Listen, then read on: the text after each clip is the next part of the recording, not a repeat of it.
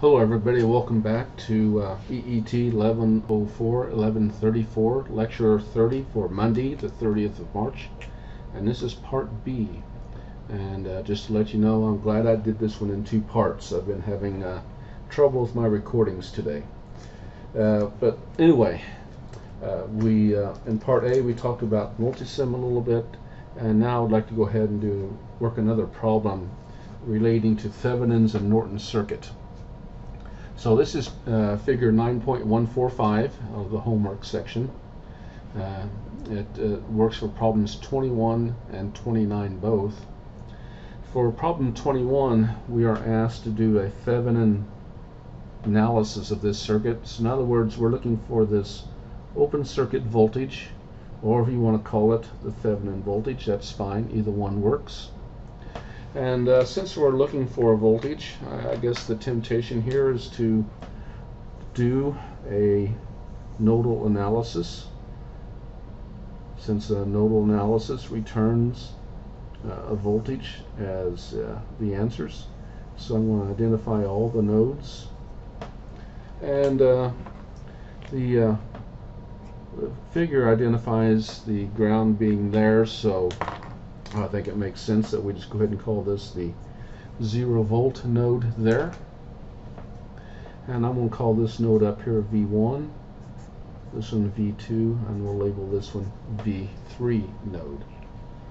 Okay, so since we're doing nodal analysis and we're looking for a voltage, we will sum currents. So I'm going to sum currents for that first voltage node. We've got one, two, three wires connected to this node here. I'm going to go ahead and do this first wire, which runs all the way down to here. So we start at this node, work to the next node. So we got V1, and we'll subtract any voltages. We've got a 6 there, and we've got a 0 volts there. Then divide by the sum of the resistances on that wire, and we just simply have a 4 ohm resistor so that's easy. So that takes care of this wire then now let's take this wire angling down to the left and add it in. So I have V1 minus V2 over 2 ohms. Then we got this wire over here uh, but we have to ask the question is there any current in this wire? I see I've got a gap or an open circuit here.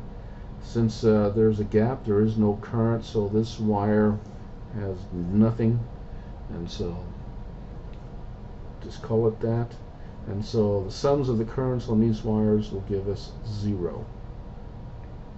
Now we're not going to worry about that zero.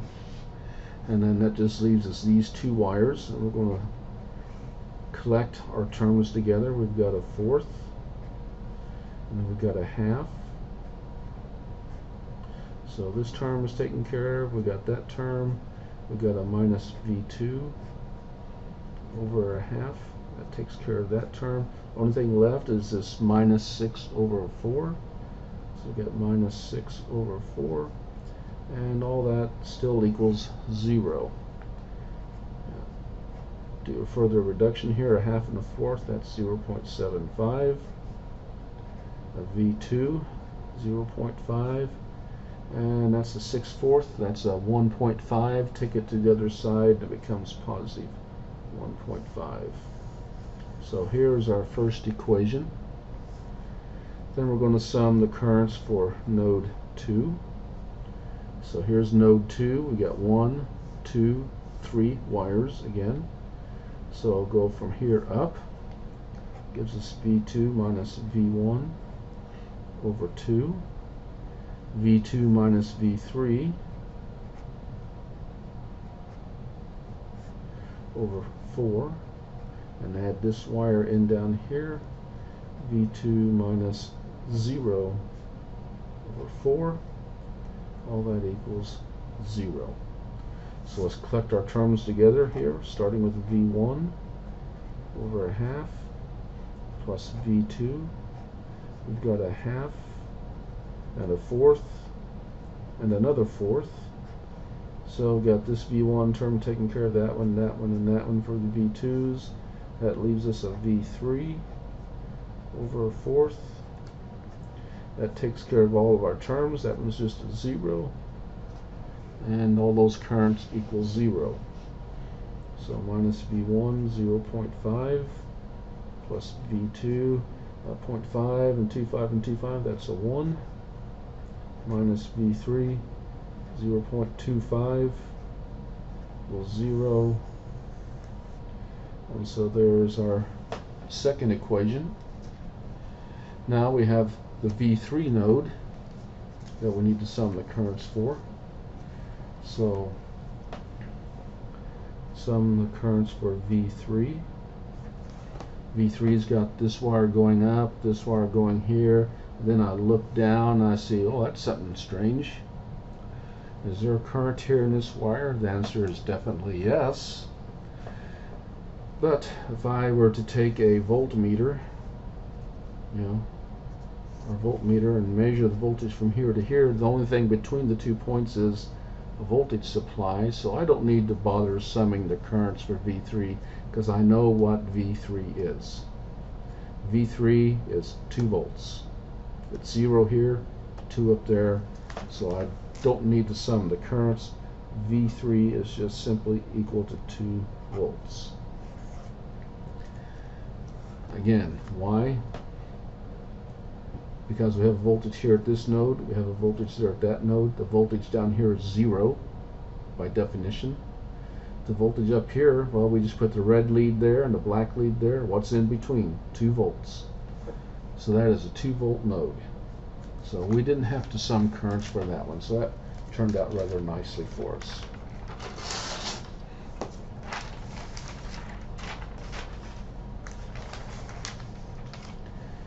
So we've got our three equations here.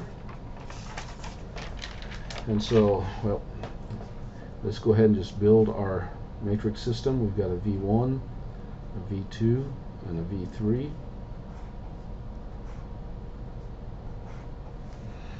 We have our first equation with a 0.75. Uh, then we have a minus 0.5 then there's no V3 term in that first equation.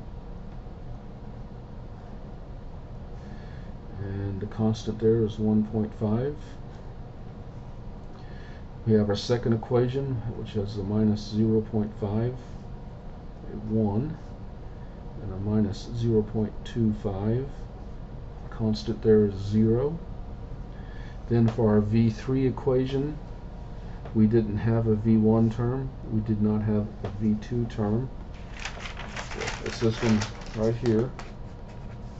There's no V1, there's no V2, there's one V3. And then the constant out there is 2. So that gives us a V1, a V2, and a V3.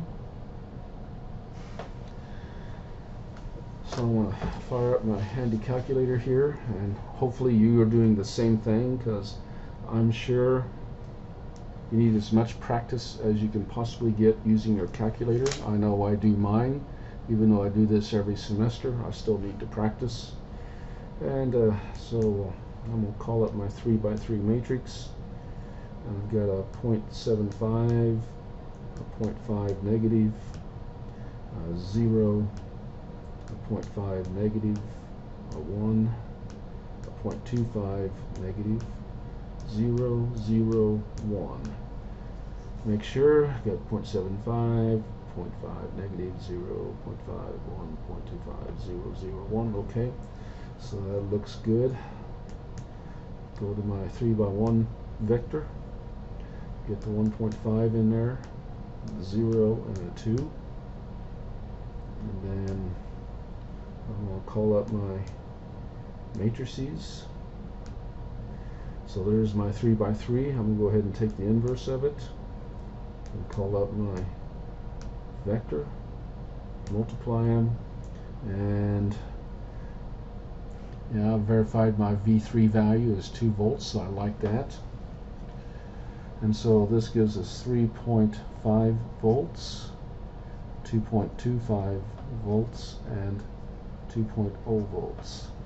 And what are we looking for? We're, we're looking for V Thevenin. I want to know what that is equal to. Well, let's go back to our original circuit here. The Thevenin is the voltage between these two points. There's a voltage here, then there's a voltage there. The voltage here is V1.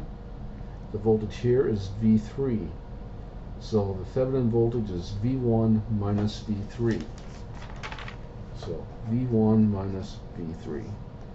So V Thevenin is equal to 3.5 volts minus 2 volts. So V Thevenin is equal to 1.5 volts.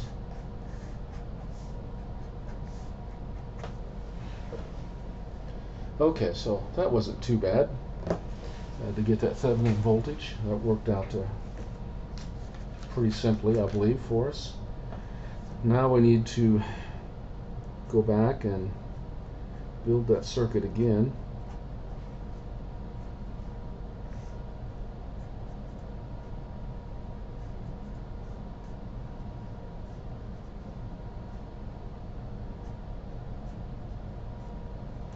I'm drawing it quite as nicely this time. Not like the first time was all that nice.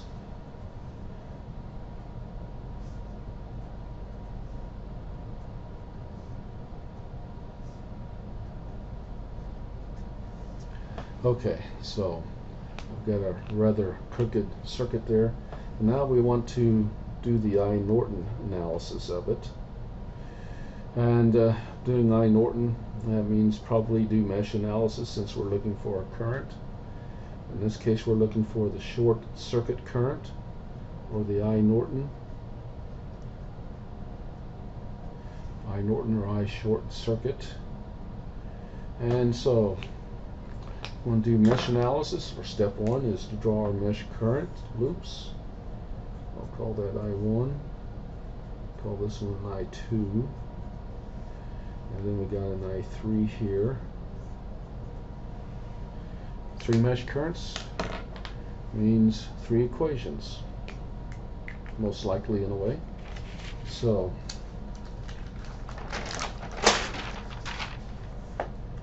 let's go ahead and start those three equations for this right here. So we're looking for currents, so when I'm looking for a current, I'm going to sum the voltages. Sum the voltages for loop 1. So we've got I1, and looks like we've got a 4 ohm, a 2 ohm, and a 4 ohms, so that's 10 ohms altogether. Subtract the I2 portion, which is reaching through that 2 ohm resistor. Subtract the I3 portion, which is through that 4 ohm resistor. And then we've got a, so we've got all the resistors taken care of, I1, I2, I3 terms taken care of. Then we've got this voltage supply, the arrowhead, and that's a minus 6 volts. So minus 6 goes here, but I'm going to go ahead and carry it over to the other side so it becomes a positive 6. So this is our first equation. Then we're going to sum the voltages for the second loop.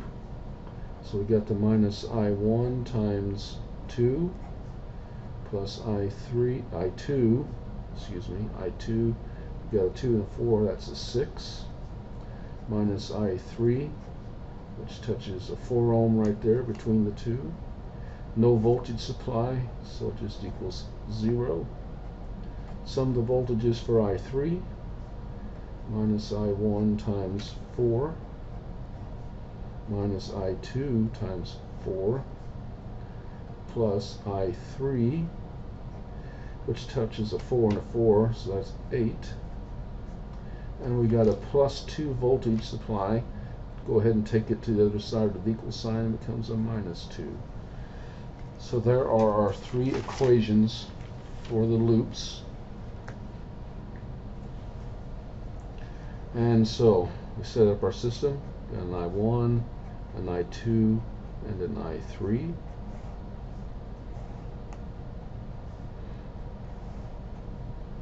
So we have 10 minus 2 minus 4 minus 6 minus 2 6 minus 4 0, minus 4, minus 4, 8, minus 2. So we're going to look for answers again. I'm going to let my calculator do the work because I'm lazy that way. So I'm going to go ahead and get uh, my 3 by 3 matrix entered. We've got a 10, a minus 2, a minus 4, a minus 2, 6, minus 4, minus 4, minus 4, and an 8. Verify the numbers. Yes, that looks good. And then we'll call up my vector. And then we got a 6, 0, and a minus 2. And then call up the matrix. There's the first one. Going to invert it. And then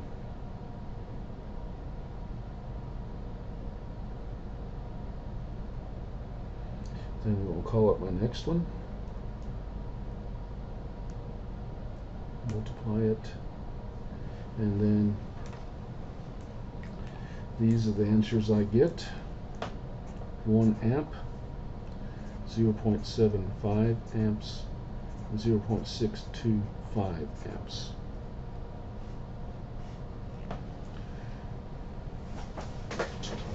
I'm not too sure about those answers I may have made a uh, doesn't seem right yeah, okay. Yeah, I like those answers. They verify what I've had before when I've worked the problem before. So, but I think I do remember that uh, it may disagree with the author's answers in the back of the book. So I feel pretty good about these answers and not so good about the author's answers if they're if they are indeed different. That's kind of why I remember. But anyway, the question we're asking is what is I Norton? Well, Norton's out here. Whoops, wrong drawing. Oh, oh, there we are. I Norton's right there. And that's simply the I2 current going through there. So I Norton is equal to I2. So I Norton is 0.75 amps.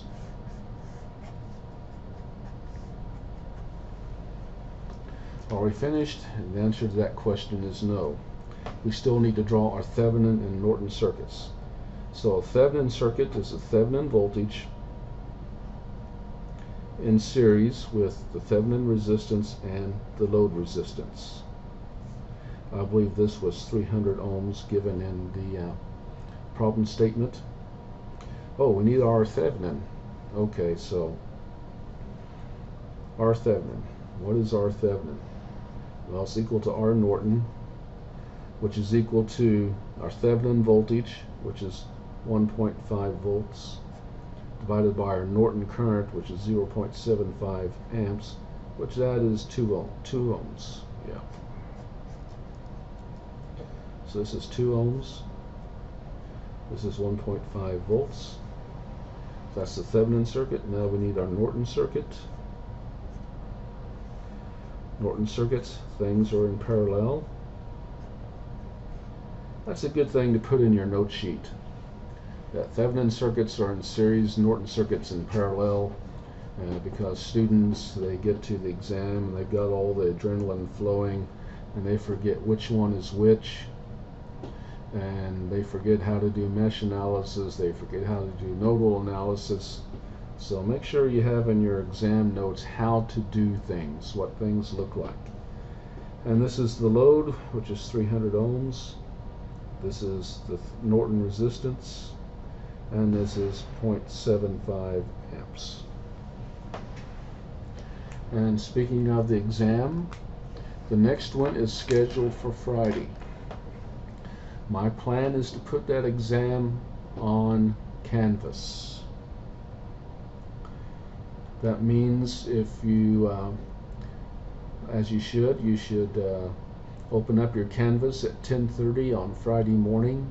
Why? Because that is when the exam will be scheduled. It will be scheduled for one hour from 10:30 to 11:30. My plan is to make it a 50-minute exam, so if you're a few minutes late, you you got you'll still have 50 minutes to work it. So this coming Friday at 10:30, open up Canvas, or actually probably a little bit before 10:30, open up Canvas. Then at 10:30, the quiz or the exam on Friday will be available to you for fifth, for one hour.